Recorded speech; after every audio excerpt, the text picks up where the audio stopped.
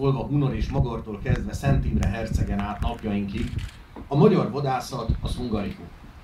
De az, hogy ez bennünk is tudatosuljon, és az egész társadalomban, ahhoz ezeket az értékeket be kell tenni. Ezért tehát azt a víziót vázoltuk föl, azt a jövőképet, ami felé azért már nagyon-nagyon sok lépést megtettünk, hogy legyen egy olyan rendszer, vadászati múzeum, vagy erdészethez, vadászathoz, természethez köthető múzeumok tekintetében, ami behálózza az országot.